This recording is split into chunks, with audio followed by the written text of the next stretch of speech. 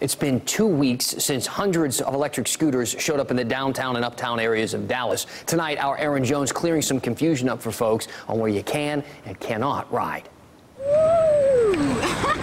The scooter frenzy is now in full force. Hundreds of them in downtown Dallas as part of a six-month pilot program. I just saw everyone riding around on these scooters and uh, it was only a buck, so I decided to check it out. Connor Hoffman is riding one on the Katy Trail, not aware that he shouldn't be. Yeah, I just saw everyone else uh, riding around, so I assumed uh, it was okay. And so did dozens of others we witnessed on the trail today. But it turns out these electric scooters need to stay on the street.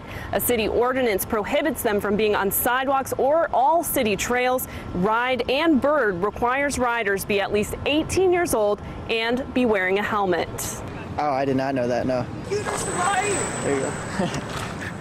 I've had instances where I'm out in the neighborhood and I just I stop them. I tell them, "Hey, do you know it's illegal to ride on the sidewalk?" And most of them just don't know. Lime operations manager Jeff Roberts says these scooters can reach up to 15 miles per hour. You have to think of yourself as a vehicle. Right now, friends of the Katy Trail say police might issue a warning if a scooter is seen on the trail. That could change in the future. In Dallas, Aaron Jones, CBS 11 News.